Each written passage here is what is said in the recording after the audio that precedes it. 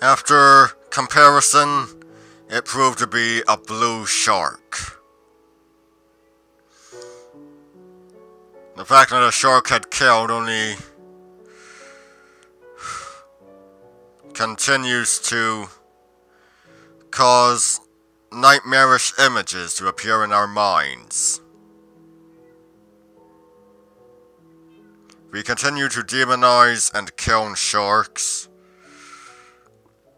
Shark-proof nets are put up for miles, killing many marine species.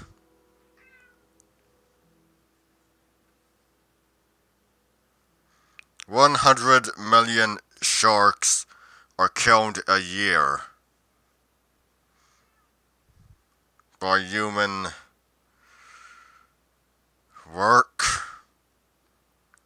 The number of humans killed a year by sharks? Seven.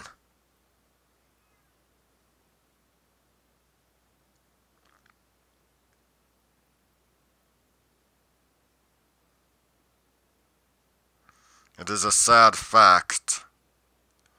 The more knowledge we gain about them, the more we don't fear them.